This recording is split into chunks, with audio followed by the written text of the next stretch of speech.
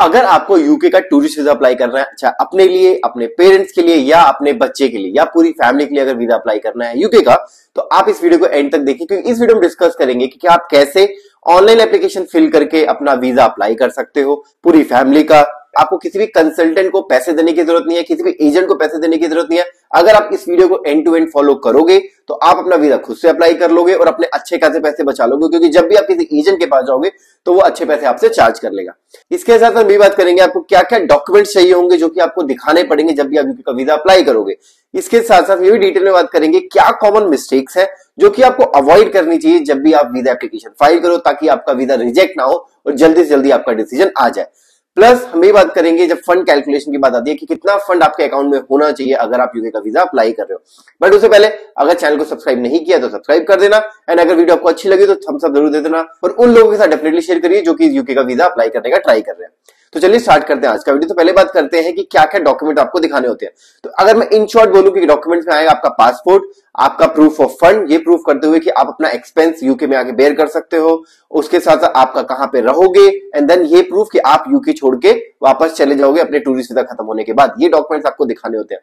अगर पूरी डिटेल की बात करें कि अगर आप स्पॉन्सर्ड डॉक्यूमेंट्स की बात करें और नॉन स्पॉन्सर्ड डॉक्यूमेंट की बात करें, उसके ऊपर मैंने डिटेल और एक बहुत ही एलेबरेटेड वीडियो बनाई हुई है, उसका लिंक डिस्क्रिप्शन में आपको मिल जाएगा।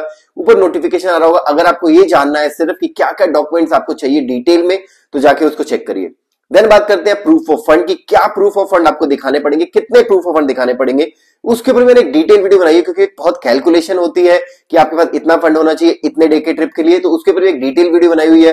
उसका लिंक भी आपको ऊपर आ रहा होगा नोटिफिकेशन में, या प्लस नीचे डिस्क्रिप्शन में मिल जाएगा। उसको जाके चेक करिए। अगर आपको फंड कैलकुलेशन जानना है कि यूके के टूरिस्ट वीज़ा के लिए आपको कितना फंड दिखाना ज़रूरी है।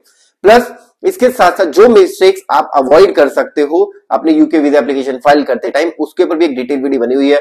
ऊपर आपको नोटिफिकेशन आ रहा होगा, नीचे उसका लिंक भी डिस्क्रिप्शन मिल जाएगा। तो ये तीन वीडियो सेपरेट है, आप जाके चेक करिए जब भी आप यूके वीज़ा एप्लीकेशन फ़ाइल करेंगे।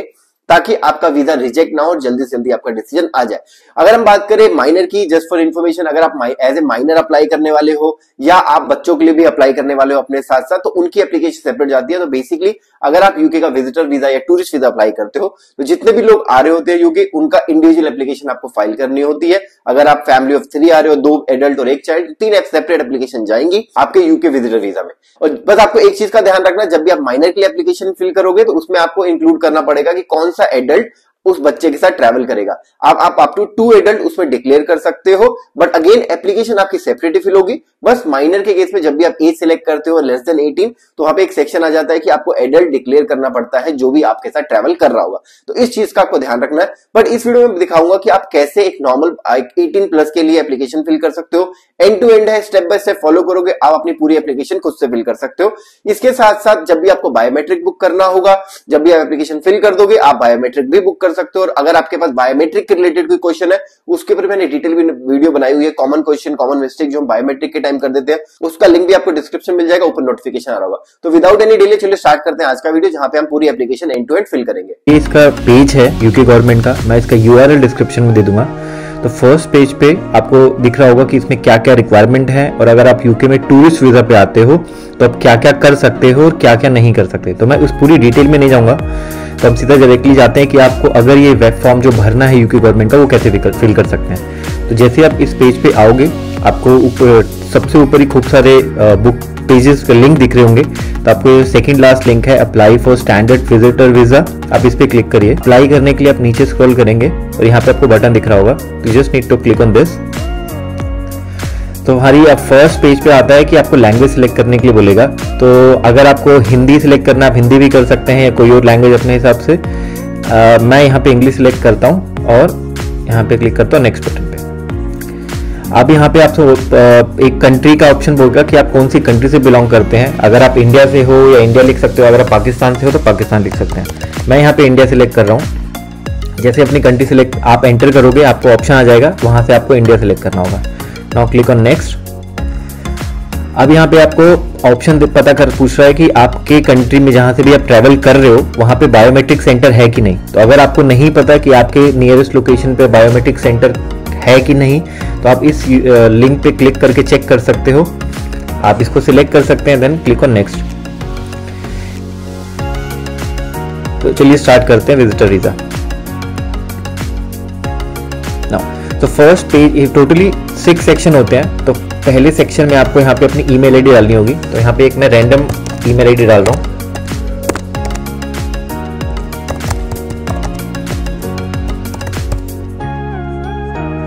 देन आप पासवर्ड डाल दीजिए अपना कोई सा भी जो भी आपको डालना हो। ओके okay, तो जैसे आपने अपनी ईमेल आईडी डाल देगी आपको नीचे दिख रहा होगा और देन आपको सेव एंड कंटिन्यू करना पड़ेगा। सो फ़र्स्ट सेक्शन आपका कंप्लीट हो गया अब आपको अपनी एप्लीकेशन फिल करना यहाँ से स्टार्ट करना है। तो अगर आपके पास ऑप्शन है, यहाँ पे आप चेंज भी कर सकते हो। तो आप फ़र्स्ट ऑप्शन आपके पास आता है, पूछता है कि ये ईमेल आईडी आपके पास है, आपकी है या किसी और की है? तो बेसिकली इसलिए बोल रहा है क्या ताकि आपके पास एप्लीकेशन फिल करने के बाद जो भी इंफॉर्मेशन होगी, वो आपको मेल ईमेल हो जाएगी।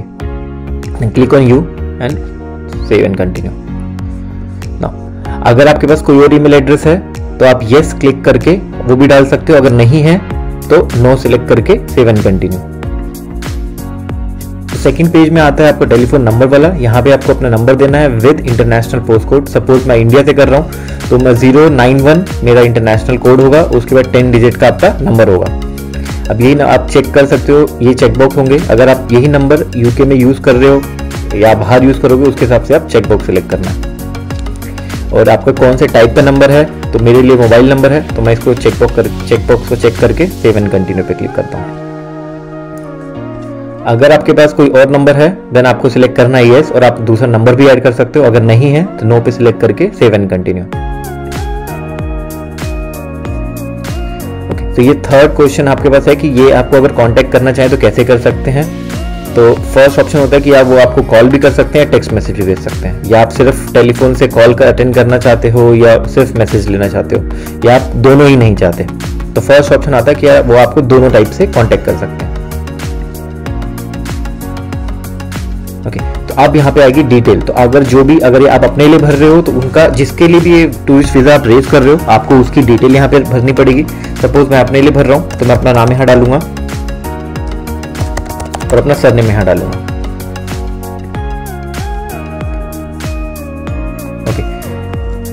सेकंड क्वेश्चन आता है कि आपसे पूछ रहे हैं कि ये आपका यही नेम है या आपका नाम आपने चेंज किया है? अगर आपने नाम अपना चेंज किया है सपोज़ आपकी शादी हो गई, आपने शादी से पहले कुछ और नाम था या आपने नाम चेंज किया है तो आप येस पे सिलेक्ट करोगे। जैसे आप येस पे सिलेक्ट करोगे नेक्स्ट पेज पे आपको पुराने नाम की डिटेल देनी पड़ेगी। मेरे केस में ऐसा नहीं है तो मैं नो सिलेक्ट करके सेव एंड कंटिन्यू पे क्लिक करता हूँ। यहाँ पे आपको बेसिक इन्फॉर्मेशन देनी पड़ेगी अपना आपको जेंडर और रिलेशनशिप स्टेटस अगर आप सिंगल है तो सिंगल मैरिड है तो मैरिड सपोज़ मैं मैरिड के लिए सेलेक्ट कर रहा हूँ यहाँ पे कंटिन्यू पे क्लिक करेंगे फिर. ओके तो अब ये स्ट्रेट फॉरवर्ड डिटेल है यहाँ पे आपको अपना एड्रेस डालना है. तो अगर आ, मैं सपोज़ कुछ भी रैंडम एड्रेस डाल सकता हूँ आपका जो भी रिलेवेंट डिटेल हो आप वो डालिए इसमें. सिटी में डेली डाल देता हूँ और इन इन कंट्री में आपको अपनी रिस्पेक्टिव कंट्री डालनी पड़ेगी और जैसे भी आप एंट्री डालोगे, आपको ऑप्शन आ जाएगा, वो सिलेक्ट कर सकते हो। और यहाँ पे जैसे आप अपनी एड्रेस डालोगे, यहाँ पे ऑप्शन आएगा आपको कि is this your corresponding address yes it is तो मैं येस पे सिलेक्ट करके कंटिन्यू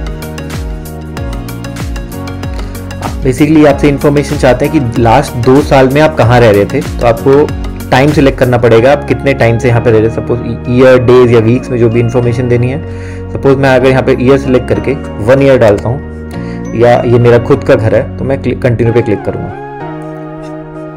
तो बेसिकली वो लास्ट दो साल का एड्रेस मांग रहे हैं। सिंस मैंने लास्ट पेज पे एक ही साल का एड्रेस दिया था तो मेरे से दूसरा एड्रेस भी मांग रहे हैं। तो मैं जिसमें चेंज नया एड्रेस नहीं डालूँगा, मैं पीछे जाके इसको मैं चेंज कर दूँगा पाँच साल के लिए। तो जैसे ही मैं इसको पाँच साल करूँगा नेक्स्ट पेज पे मुझे दोबारा एड्रेस के लिए नहीं पूछेंगे। अब नेक्स्ट आता है हमारा पासपोर्ट डिटेल तो यहाँ पे आपको पासपोर्ट नंबर अपना आपके पासपोर्ट से डालना होगा। तो मैं रैंडम डिटेल डाल रहा हूँ। थ्री फोर फाइव सिक्स आप ये किसने इशू किया है? अगर आपकी कंट्री है तो मैं इंडिया लिख दे रहा हूँ यहाँ पे। और आपकी जो डिटेल आपको इशू हुआ है ये पासपोर्ट और ये आपकी एक्सपायरी डेट आएगी यहाँ पे। मैं यहाँ पे रैंडम डिटेल डाल रहा हूँ। आप अपने पासपोर्ट के करस्पॉन्डिंग जो भी डिटेल है, आप यहाँ फिल कर सकते हैं। Okay. Passport, okay sorry passport detail की ये 10 साल का होता है तो डिटेल मैंने डेट गलत डाल दी थी ईयर बेसिकली यहाँ पे तो ये 10 साल का डिफरेंस में कंटिन्यू उसने मुझे एरर इसलिए दिया था क्योंकि पासपोर्ट की जो एक्सपायरी डेट थी वो पास की मैंने दे दी थी, जो कि पॉसिबल नहीं है तो पासपोर्ट आपका वैलिड होना चाहिए फॉर नेक्स्ट सिक्स मंथ तभी आप इस वीज़ा के लिए अप्लाई कर सकते हाँ। तो अभी हमारे क्वेश्चन नेक्स्ट क्वेश्चन है कि आपके पास कोई आइडेंटिटी प्रूफ है issued by any non UK government तो आप यस कर सकते हो। अगर है तो नहीं है तो आप नो सिलेक्ट कर सकते हो, आपको कोई प्रॉब्लम नहीं है, क्योंकि सिंस आपके पास पासपोर्ट है, वो आपका एक आइडेंटिफिकेशन डॉक्यूमेंट होगा। अगर आपके पास सपोज़ आधार कार्ड है तो आधार कार्ड डिटेल भी आप डाल सकते हो।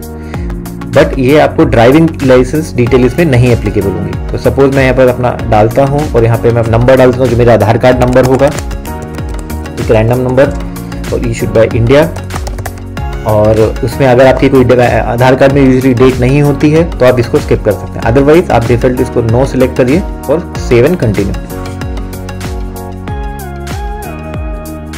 ओके ये ऑप्शन आएगा आपकी नेशनैलिटी को लेके। तो आपकी कंट्री जहाँ पे आपका बर्थ हुआ है एंड देन ये सारी डिटेल स्ट्रेट फॉरवर्ड है। एंड ये डिटेल जो आपकी birth of place of birth होगा, वो आपके पासपोर्ट के होना चाहिए। जो भी डिटेल आप, नाम, आप सिटी का नाम पासपोर्ट में आपको सेम वैसे का वैसे ही यहाँ पे लिखना है।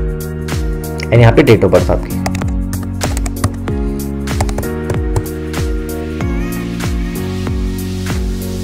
अभी आपको नेक्स्ट क्वेश्चन पूछ रहा है कि आपने के पास और कोई नेशनैलिटी है? अगर आपके पास है सपोज़ आप डुअल सिटीजनशिप होल्ड करते हैं तो आप यस इन्फॉर्मेशन यस सिलेक्ट करके डिटेल डाल सकते हैं। अदरवाइज़ अगर आपके पास सिर्फ़ इंडियन या आपकी खुद की कंट्री की नेशनैलिटी है, आप नो सिलेक्ट करिए और सेव पे क्लिक करिए। अब यहाँ पे आपसे आपका एम्प्लॉयमेंट स्टेटस पूछ रहा है। अगर आप एम्प्लॉयड हैं या आप जॉब करते हैं तो आप एम्प्लॉय पे सिलेक्ट करिए।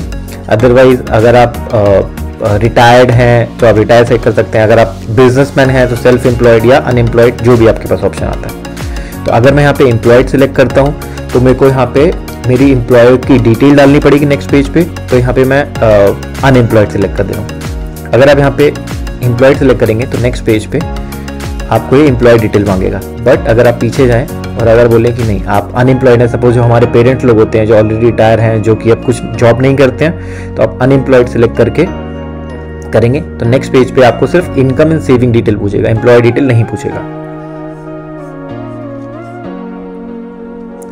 Okay so do you have any others income तो बोलेगा, आपके पास सेविंग है या आपकी रेगुलर इनकम है? तो आप आपसे अगर आपके पास सेविंग आप एज ए प्रूफ दिखाना चाहते हैं फंड का तो आपको बताना पड़ेगा कि कितनी सेविंग है आपके पास।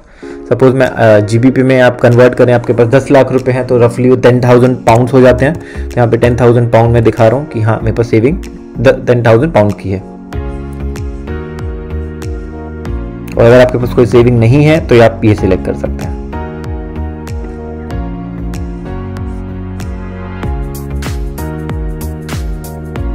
अब नेक्स्ट क्वेश्चन आता है कि आपसे पूछ रहे हैं कि आप यूके में जब आ जाएँगे तो आपके जो एक्सपेंडिचर्स होंगे जो डे टू डे बेसिस के, वो आप कितना स्पेंड करने का एक्सपेक्ट कर रहे हैं? सपोज़ मैं जी बी पे बोलूँ कि मैं अपना थाउज़ेंड पाउंड पूरे ट्रिप पे, जो मैं रहने के लिए और मेरे फ़्लाइट के लिए, मैं एक्सपेक्ट कर रहा हूँ कि मेरा इतना एक्सपेंडिचर होगा। ये डिपेंड करता है कि आपकी ड्यूरेशन क्या है स्टे की। आप उसके हिसाब से एटलीस्ट रिलेवेंट इंफॉर्मेशन दीजिए, क्योंकि अगर आप छः महीने के लिए, पाँच महीने के लिए रह रहे हैं तो एक वन थाउज़ेंड पाउंड हो सकता है, शायद कम हो। तो आप उसके हिसाब से इन्फॉर्मेशन यहाँ पे आप अमाउंट ऐड कर सकते हैं। तो नेक्स्ट पेज पे आपकी फाइनेंशियल सिचुएशन ये आपसे पूछ रहे हैं कि आप टोटल कितना यूजुअली मंथ में स्पेंड करते हैं। सपोज़ मैंने इंडिया सिलेक्ट किया था, इसलिए मेरे को जीडीपी और इंडिया दोनों दिख रहा है। सपोज़ अगर मैं आई सिलेक्ट करता हूँ, मैं बोलता हूँ कि मेरा मंथली एक्सपेंडिचर्स टेन थाउज़ेंड आई में है तो मैं इसको सेव करता हूँ तो आपके ऊपर आप कोई भी इन्फॉर्मेशन वहाँ दे सकते हैं। ओके तो ये इंपॉर्टेंट क्वेश्चन है कि अगर आप यूके आ रहे हैं तो आपके जो ट्रिप का है एक्सपेंसेस जो होंगे, वो कौन बेयर करेगा? वो आप बेयर करेंगे या कोई आपका, जो आपके फैमिली मेंबर है सपोज़ आपका कोई बेटा हो, भाई हो, या जो भी हो, वो बेयर करने वाला है। तो अगर आपका जो ट्रिप है, वो कोई स्पॉन्सर कर रहा है तो आप ये सिलेक्ट करिए। और अगर आप कोई स्पॉन्सर नहीं कर रहा, सारा का सारा पैसा आप खुद अपनी जेब से देना चाहते हैं तो इसको नो सिलेक्ट करिए। तो सपोज़ करिए कि हम अपने ये वीज़ा सपोज़ करिए अपने किसी पेरेंट्स के लिए कर रहे हैं, जो कि हम पे डिपेंडेंट हैं और उनकी जो फंडिंग है हम दिखाना चाहते हैं तो हम इसको ये सिलेक्ट करेंगे और सेव पे क्लिक करेंगे। ओके तो अब ये सिंस मैंने लास्ट पेज पे ये सिलेक्ट किया था कि कोई मेरा ये ट्रिप स्पॉन्सर कर रहा है तो यहाँ पे पूछ रहा है कि वो कौन है? या तो अगर आप एम्प्लॉयर हैं तो आपका एम्प्लॉयर की इन्फॉर्मेशन पूछेगा, या आपका कोई फैमिली मेंबर तो सपोज़ करिए मैं अपने फैमिली मेंबर की डिटेल मांग, डाल रहा हूँ यहाँ पे। अब यहाँ पे इन्फॉर्मेशन देनी है कि कौन ये ट्रिप स्पॉन्सर कर रहा है। सपोज़ मैं यहाँ पे बोलता हूँ कि विवेक स्पॉन्सरिंग माई ट्रिप या सपोज़ मैं भूमिका का नाम डाल रहा हूँ, और वहाँ पे इंफॉर्मेशन देनी पड़ेगी। अब सिंस वो ऑलरेडी यूके में है तो यहाँ पे मैं यूनाइटेड किंगडम सेलेक्ट करूँगा, और आपको इन्फॉर्मेशन दे दूँगा। टू एम के ए फोर एक। यहाँ पे मैं सिटी में मिल्टन की डाल दूँगा। बस post code is not required अगर आपके पास है तो आप ये पूरी डिटेल डाल सकते हैं उस इंसान की जो भी आपका ये ट्रिप स्पॉन्सर कर रहा है। तो अब यहाँ पे इंफॉर्मेशन है कि आपकी जो ट्रिप है, वो कितने, जो जो भी ट्रिप स्पॉन्सर कर रहे हैं, वो कितना स्पेंड कर रहे हैं। सपोज़ मैं जीबीपी में एक्सपेंडिचर आपका टेन थाउज़ेंड है, आपने जो भी एक्सपेक्ट किया है, आप रफ एस्टिमेट कुछ भी दे सकते हैं बट ये सेम अमाउंट एटलीस्ट उनके अकाउंट में उतना होना चाहिए। तो सपोज़ यहाँ पे थाउज़ेंड पाउंड एक्सपेक्ट कर रहा हूँ कि वो मेरे पे स्पेंड करेंगे।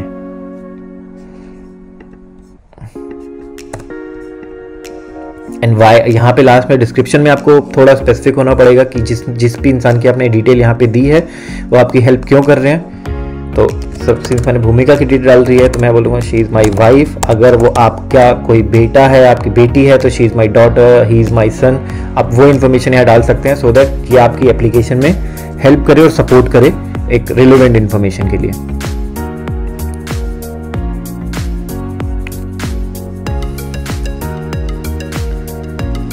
अब नेक्स्ट क्वेश्चन आता है कि और भी कोई आपकी ट्रिप स्पॉन्सर कर रहा है? अगर आप एक से ज़्यादा लोग आपकी ट्रिप स्पॉन्सर कर रहे हैं तो येस आप सिलेक्ट येस पे सिलेक्ट करके नेक्स्ट पेज पे भी आपको उसी की नेक्स्ट पर्सन की डिटेल डालनी होगी। अगर आप सिर्फ़ एक ही बंदा आपकी ट्रिप स्पॉन्सर कर रहा है तो आप नो सिलेक्ट करके कंटिन्यू कर सकते हैं।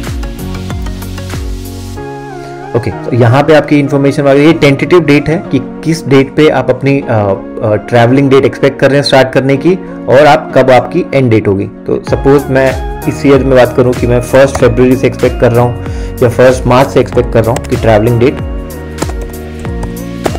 और मेरा ट्रिप एक महीने का होगा तो यहाँ पे आप एंड डेट दे सकते हैं। बट ये जो आपकी एंड डेट होगी वो सिक्स मंथ के अंदर ही होनी चाहिए क्योंकि आपको जो स्टैंडर्ड वीज़ा होता है वो सिक्स मंथ्स के लिए ही आ, आप अवेल कर सकते हो या इश्यू होता है आपके लिए।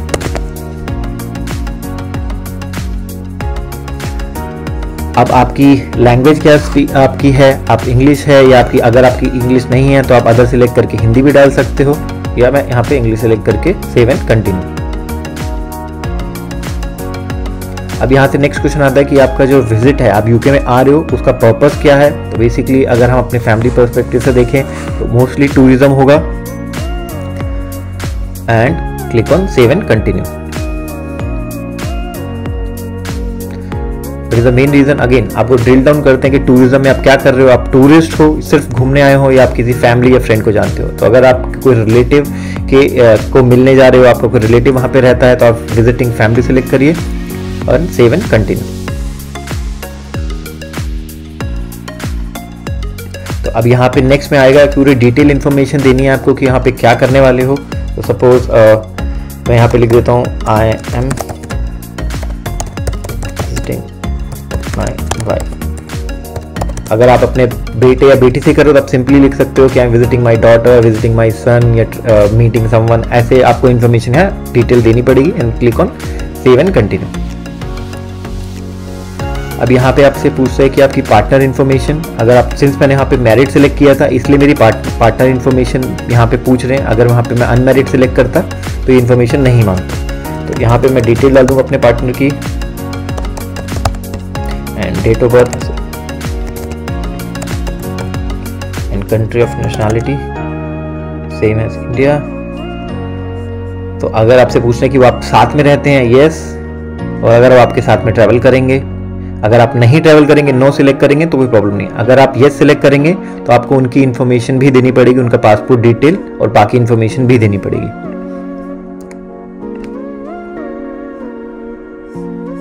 हाँ अब आप नेक्स्ट पेज पे आता है कि अगर आप यूके ट्रैवल कर लोगे तो आपके ऊपर कोई फाइनेंशियल डिपेंडेंट है क्या? आपका कोई बच्चा है क्या नहीं? अगर है तो ये आप सिलेक्ट करिए। अगर नहीं है तो नो पे सिलेक्ट करिए। मैं यहाँ पे नो सिलेक्ट कर रहा हूँ। कोई फाइनेंशियल डिपेंडेंट नहीं है then click on save and continue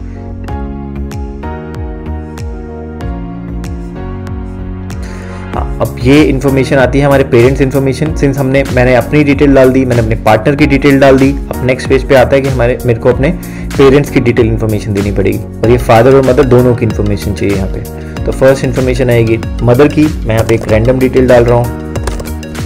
and उनकी डेट ऑफ़ बर्थ तो ये डेट ऑफ़ बर्थ वैलिड होनी चाहिए। आपके पास जो करेक्ट इन्फॉर्मेशन हो, या आपके आधार कार्ड से, या किसी और डॉक्यूमेंट से गवर्नमेंट ऑफिशियल डॉक्यूमेंट से, आप वो इन्फॉर्मेशन यहाँ डाल सकते हैं।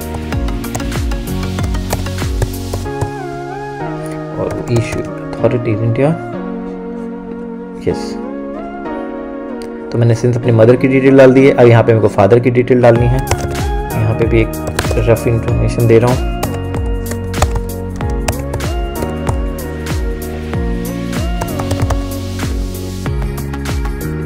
आप यहाँ पे जो भी आपकी करस्पॉन्डिंग रिलेटिव इंफॉर्मेशन हो, आप वो डालिए और सेव एंड कंटिन्यू पे क्लिक करिए।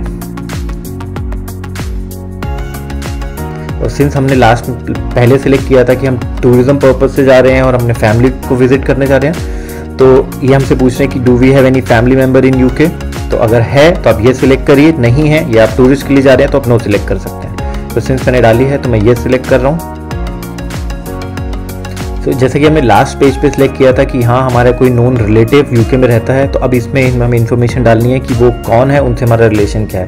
वो हमारे brother brother in law child daughter father grandchild husband mother ये आपके पास ऑप्शन है। ये बेसिकली मोस्टली आपके रिलेटिव हैं फ्रेंड फ्रेंड्स नहीं है। तो सपोज़ मैं अपने स्पाउस सेलेक्ट करूँगा यहाँ पे, और वहाँ पे मुझे उनका नाम देना होगा।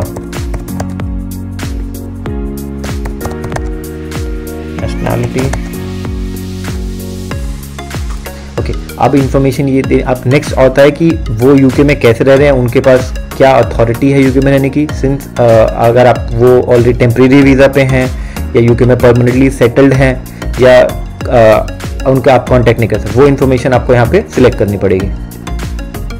और अगर आप यहाँ पे यूके में परमानेंटली सेटलमेंट सिलेक्ट करेंगे तो यहाँ पे उनका पासपोर्ट नंबर आपको देना पड़ेगा। अगर आप टेम्प्रेरी वीज़ा पे भी हैं तो भी आपको उनका पासपोर्ट नंबर यहाँ देना पड़ेगा।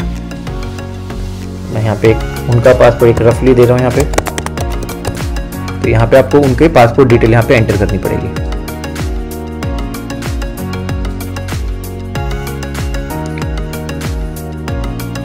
अब नेक्स्ट क्वेश्चन आता है कि आपका और कोई रिलेटिव है क्या? सिंस मैंने एक डिटेल डाल दी है, अगर आपके पास और भी रिलेटिव है, आपको ये सिलेक्ट कर सकते हैं। अगर नहीं है तो नो सिलेक्ट करके सेव एंड कंटिन्यू सो ये जो भी रिलेटिव डिटेल है, वो ऑप्शनल है। अगर आप किसी को जानते हैं तो ये सिलेक्ट करिए। नहीं तो आप नो सिलेक्ट कर सकते हैं। अभी बेसिक क्वेश्चन है कि अगर आप ट्रैवल कर रहे हो तो किसी ऑर्गेनाइज ग्रुप में स्पोर्ट उसके लिए ट्रैवल कर रहे हो? सिंस ये टूरिस्ट वीज़ा और मोस्टली जो हमारे इस वीडियो का टारगेट है कि हम फैमिली मेंबर के लिए बना रहे हैं तो यहाँ पे हम सिलेक्ट करेंगे नो कि नहीं, हम किसी ग्रुप में ट्रैवल नहीं कर रहे हैं। हम are you travelling with any other person who is not your partner और स्पाउस तो हम यूजली मैं टारगेट कर रहे हैं, जैसे मैंने बोला कि हम टारगेट कर रहे हैं कि ये फैमिली मेंबर्स के लिए वीज़ा टारगेट कर रहे हैं तो यहाँ पे सिलेक्ट करूँगा no and click on continue अब नेक्स्ट पेज पे आता है कि अगर आप यूके में आ गए हो तो आप किसके साथ रहेंगे? सिंस सो बेसिकली इस पेज पे आपको अपनी एकोमोडेशन डिटेल डालनी है। सिंस मैंने लास्ट पेज पे डाला था कि मेरे रिलेटिव ऑलरेडी यूके में है तो वो नाम यहाँ पे दिखा रहा है। तो ये मेरे से पूछ रहे हैं कि मैं यूके में कहाँ पे रहने वाला हूँ? या सेम लोकेशन पे जहाँ पे मेरे रिलेटिव रह रहे हैं तो मैं इस चेक बॉक्स को चेक कर दूँगा। अगर आप उनके साथ नहीं अलग रह रहे हैं तो आपको इसको चेकबॉक्स को चेक करने की ज़रूरत नहीं है। आप सेव एंड कंटिन्यू पे क्लिक कर सकते हैं और नेक्स्ट पेज पे आपको वो इन्फॉर्मेशन डालनी पड़ेगी कि आपका एकोमोडेशन क्या होने वाला है यूके में। अब यहाँ पे आ, मैंने सिलेक्ट किया है कि मैं भूमिका के साथ रहने वाला हूँ तो मुझे वहाँ पे उसका फ़ोन नंबर ईमेल एड्रेस और एड्रेस देना पड़ेगा यहाँ पे। यहाँ पे डिटेल डालता हूँ। एड्रेस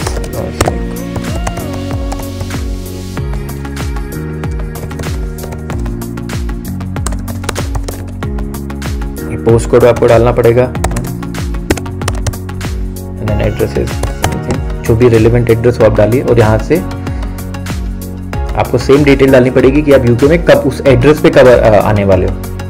तो ये यूजुअली मैं सेम रखता हूँ कि हम जिस डेट को ट्रैवल कर रहे हैं, उसी डेट को हम वहाँ पे रहने आएँगे। जिस सेम डेट जब हम ट्रैवल कर रहे हैं।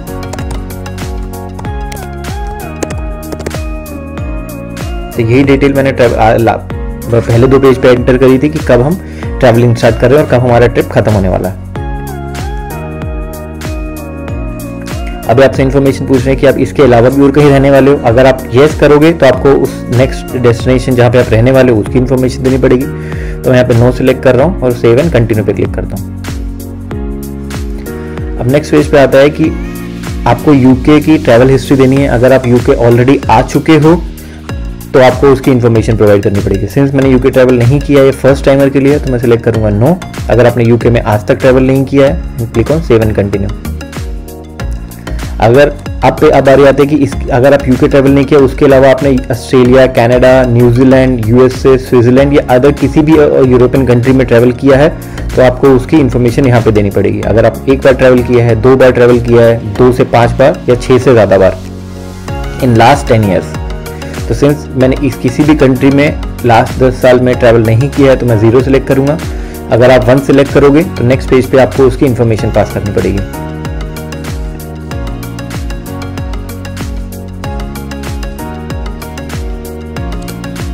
अब नेक्स्ट पेज पे आता है कि सिंस हमने यूके अवॉइड करा, हमने USA Canada Australia New Zealand avoid किया, अब थर्ड पे पेज पे आता है कि इसके अलावा, इन कंट्रीज़ के अलावा आप किसी भी और कंट्री में लास्ट दस साल में गए हो कि नहीं? अगर आप गए हो तो ये सिलेक्ट करोगे और नेक्स्ट पेज पे आपको उसकी इन्फॉर्मेशन देनी पड़ेगी। सपोज़ मैं ये सिलेक्ट करता हूँ, मुझे यहाँ पे ट्रैवल देनी पड़ेगी इन्फॉर्मेशन देनी पड़ेगी कि मैं कहाँ गया था। तो यहाँ पे मैं लिख देता हूँ इंडोनेशिया सपोज़ मैं एक डेस्टिनेशन दे रहा हूँ और टूरिज़्म के लिए तो यहाँ पे आपको इन्फॉर्मेशन देनी पड़ेगी कि आपने कब ट्रैवल किया था। ये डेट आप अपने पासपोर्ट पे, जो स्टैम्प वीज़ा स्टैंपिंग हुई थी, वहाँ से आप चेक कर सकते हो और ये डेट करेक्ट होनी चाहिए। सपोज़ मैं यहाँ पे देखता हूँ इलेवन यहाँ पे ट्वेंटी और एग्जिट मेरा था।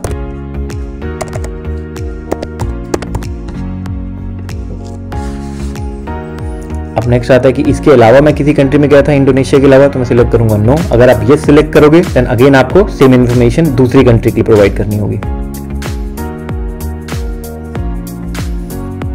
अब यहाँ पे इन्फॉर्मेशन आता है कि अगर या तो यूके के लिए या किसी भी और कंट्री के लिए आपका वीज़ा कभी भी रिफ्यूज़ हुआ है कि नहीं, या कभी डिपोर्ट हुए हो कि नहीं तो सिर्फ़ यहाँ पे ऐसा कुछ भी नहीं हुआ. अगर आपके लिए एप्लीकेबल है, आप ये सिलेक्ट कर सकते हैं तो आपको बाकी फॉर्म एडिशनल फिल करना होगा.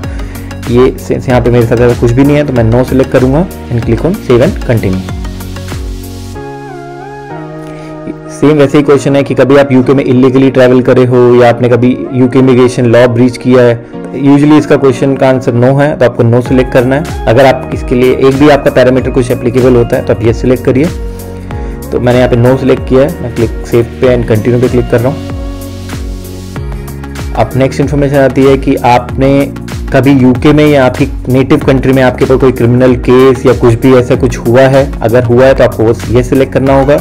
अगर ऐसी कोई भी आपके साथ कोई केस है या नहीं है, कुछ भी नहीं है तो नो लास्ट ऑप्शन सिलेक्ट करिए। No and then click on save and continue and अगर आप कोई वॉर्म क्रिमिनल है तो यूजली इन सब के आंसर आपको नो सिलेक्ट करने हैं। अगर आपने कोई भी आपके ऊपर केस नहीं है तो नो सिलेक्ट करिए। और आइए इसको चेकबॉक्स चेक करिए कि अपनी सारी इन्फॉर्मेशन आपने पढ़ ली है ऊपर। अब नेक्स्ट पेज आता है टेररिस्ट इन्फॉर्मेशन अगर आप किसी ऑर्गेनाइज ग्रुप से हैं तो मैं यहाँ पे सब कुछ नो सिलेक्ट करना है। यहाँ पे चेक बॉक्स को चेक करना है सेव एंड कंटिन्यू पे क्लिक करना है। एंड सेम इन्फॉर्मेशन है, किसी आप ग्रुप ऑर्गेनाइजेशन से बिलोंग करते हैं, ये यूजली एक स्ट्रेट फॉरवर्ड है। मैं इस पर नो नो सिलेक्ट करूँगा and click on save and continue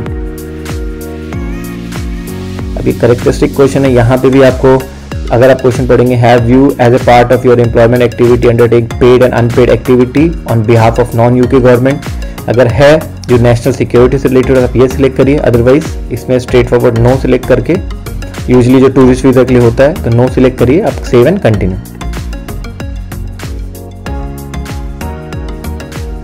अब यहाँ पे आपकी इंप्लॉयमेंट हिस्ट्री मांग रहा है। अगर आप आर्म फोर्स में थे, नहीं थे, या अगर इसमें से कुछ भी नहीं है तो आप लास्ट ऑप्शन सिलेक्ट करिए।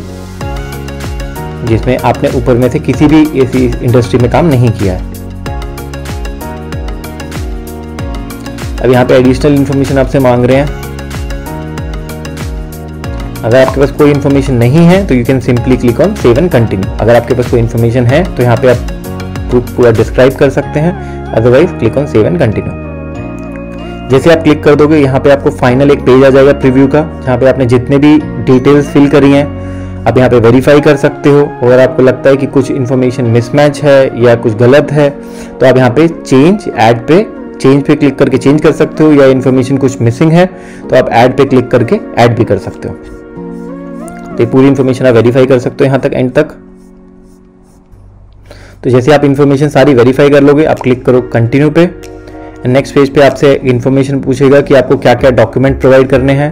तो यस पासपोर्ट डिटेल तो मैंडेटरी है। उसके ये अदर डॉक्यूमेंट्स है आपको अपने फंड के, आपको जो भी सपोर्ट कर रहा है एविडेंस ऑफ़ रिलेशनशिप जो भी आपने प्रोवाइड किया है आपका, आपके और आपके स्पॉन्सर के बीच में, वो, और ये सारे चेकबॉक्स आपको चेक करने हैं। And click on save and continue तो नेक्स्ट पेज में ये विजिटर कंडीशन है कि आप यूके में आ रहे हो तो आप क्या कर सकते हो और आप, अगर आप क्या नहीं कर सकते और ये बेसिक स्ट्रेट फॉरवर्ड इन्फॉर्मेशन है। आप डिक्लेरेशन आप सबमिट कर रहे हो कि आपने पूरे क्लॉजेस पढ़ लिए हैं। जब आप ये पूरा डिटेल पढ़ लोगे then is click on this check box and then save and continue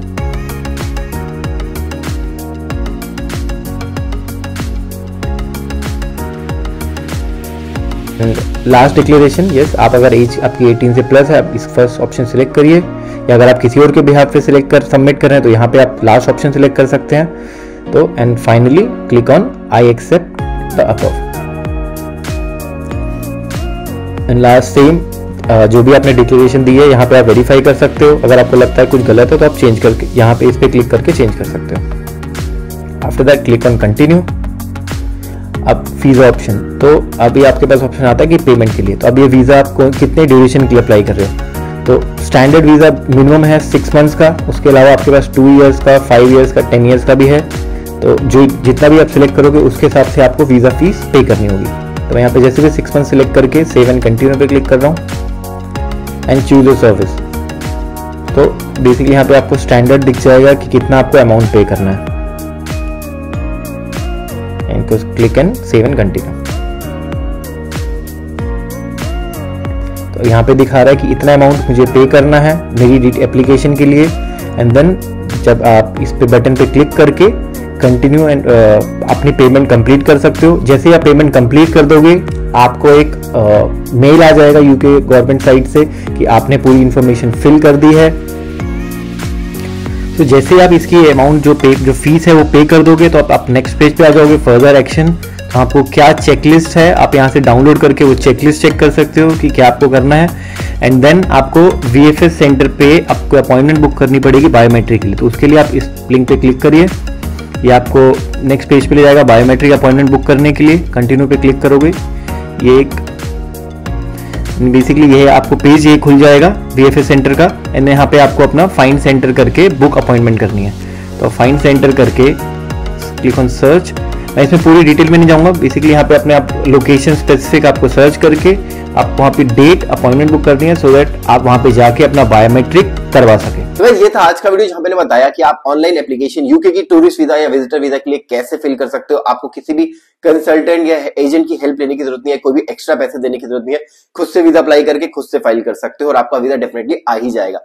उसके साथ साथ आपको मैंने भी बताया कि क्या डॉक्यूमेंट चाहिए, क्या प्रूफ ऑफ़ फंड दिखाना होगा, कितना प्रूफ ऑफ़ फंड दिखाना होगा और क्या कॉमन मिस्टेक्स आप अवॉइड कर सकते हो ताकि आपका डिसीज़न जल्दी से जल्दी आ जाए। तो वीडियो अगर अच्छी लगी हो तो लाइक कर देना। अगर आपको लगता है ये वीडियो आपके लिए थोड़ी सी भी हेल्पफुल है तो चैनल को सब्सक्राइब ज़रूर कर देना क्योंकि मोटिवेट करता रहता है ऐसी यूजफुल वीडियो बनाने के लिए और आपके साथ शेयर करने के लिए। So we will come up with next video soon until then take care bye